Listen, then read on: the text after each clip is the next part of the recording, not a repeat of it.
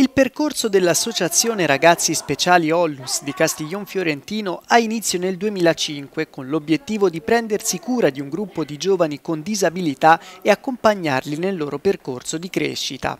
Durante gli anni questa realtà di volontariato della Val di Chiana ha creato una rete di collaborazioni con altre associazioni locali, tra le quali anche l'Avis, prima compagna di viaggio sin dal 2003. Oggi le attività promosse dal gruppo guidato da Sara Rapini offrono anche la possibilità di inserimenti lavorativi per i ragazzi. Parliamo adesso di agricoltura sociale.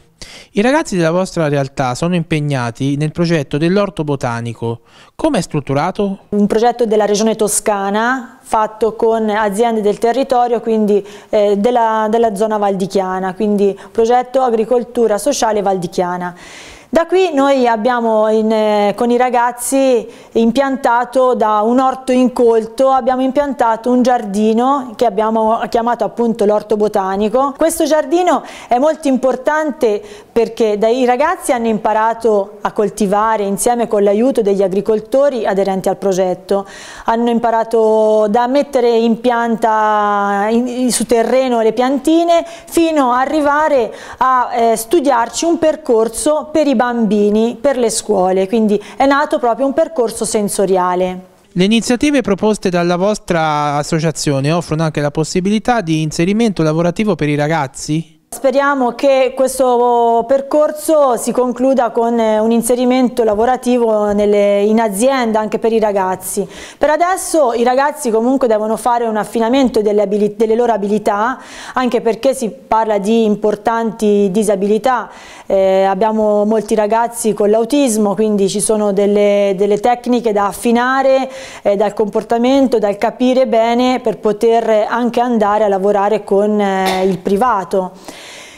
Questo progetto intanto è un'opportunità che le scuole del territorio possono comunque utilizzare per far sì che i ragazzi sono sempre integrati, sono sempre con i bambini, quindi con il percorso sensoriale che, che facciamo, mm, cioè mettiamo a disposizione, sensoriale perché diamo, offriamo ai bambini del territorio la possibilità di riscoprire quanto è bello eh, l'udito, la vista, il tatto, l'olfatto e tutto quanto che è vitalità vitalità e insieme con i ragazzi, quindi opportunità di lavoro è anche questa.